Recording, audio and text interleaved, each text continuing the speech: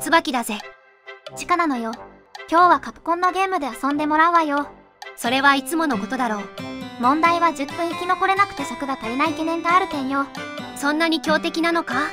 下手するとノーカットで3分とかになるわね。あんまりビビらすなよ。本日の対戦相手はこちら。96年リリースのカプコンのシューティング 19WX なのよ。ああ、これ見たことがある。昔よく行ってた小さなレンタルビデオ店にあったやつだ。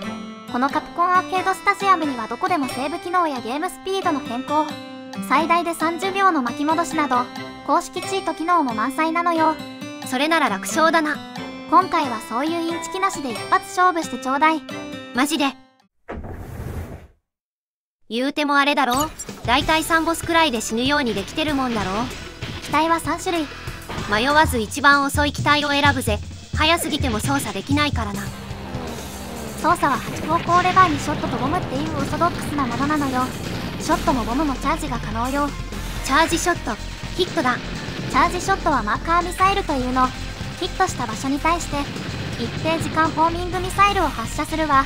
ミサイルは貫通性能を持っているので、小型の敵を巻き込めれば殲滅速度が上がるのよ。今パワーアップ的なものを取ったが、最大で何段階あるんだ？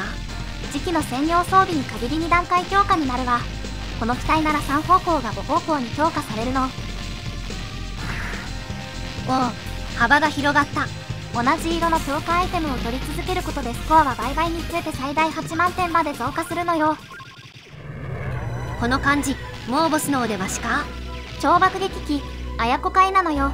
チャージショットを打ち込んで、あとは連打連打。四角ボタンが連射ボタンになっているのよ。なるほどなるほど。これは便利だな。こいつ対して強くないな。一応爆撃機なので仕方がないわね。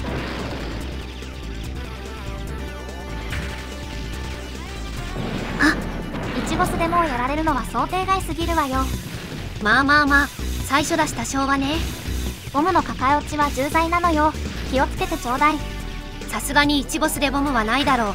という甘えがあったのは事実だぜ。撃破ね。あのミスがなければ楽勝だぜと言いたいところだ。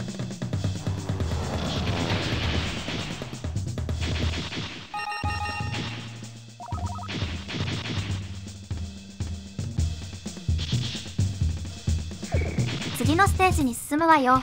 攻撃目標は来年なのよ。赤い変態だ。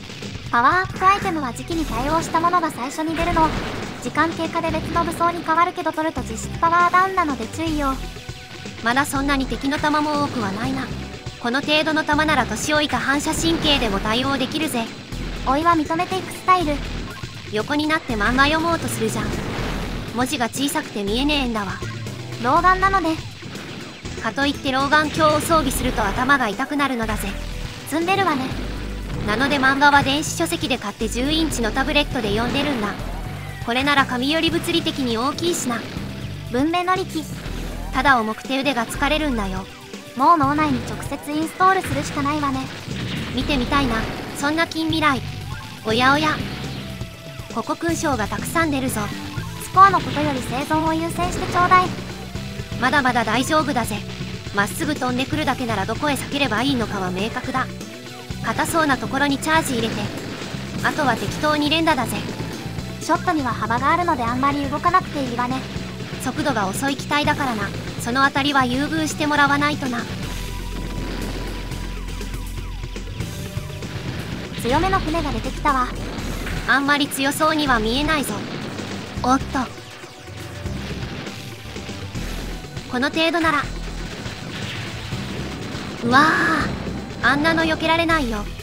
危ないと思ったらボムを使いなさい。死ぬよりはずっとマシなのよ。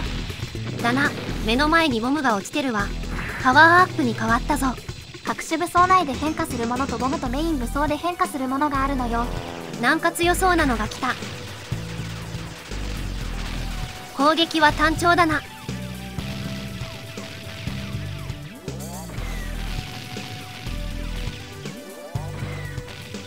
大したことなかったがまた出てくる気がするぜ。2ボス来年なのよ。すでに残機なしなんだぜ。慎重にどうぞ。チャージ打ち込んで集中砲火。壊せた。多分でかいんじゃね？